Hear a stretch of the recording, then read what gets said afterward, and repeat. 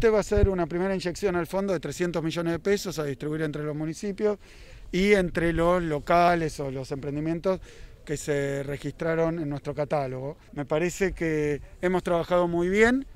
con los intendentes y las intendentas eh, en este camino complicado de ir sopesando la cuestión de la salud y la economía. Algunos pensaban que era una decisión, un caro seco, salud o economía. Entonces creo que la forma es más o menos el canto de la moneda, ir por un camino equilibrado donde se pueda abrir todo lo que sin poner en riesgo innecesariamente o excesivamente a personas o a sectores, este, se permita una actividad económica normada y regular. Este subsidio nos va a permitir brindar una ayuda, una asistencia, un apoyo a aquellos sectores que son los que más sufrieron durante y están sufriendo durante esta etapa de la pandemia, que son los sectores culturales y turísticos. Así que son realmente recursos que nos permitirán tener una mirada sobre, sobre estos sectores, sobre todo teniendo en cuenta que Tigre tiene un gran desarrollo en el eje turístico. De a poquito, con mucho cuidado, vamos abriendo algunos sectores de manera de no colapsar, de que haya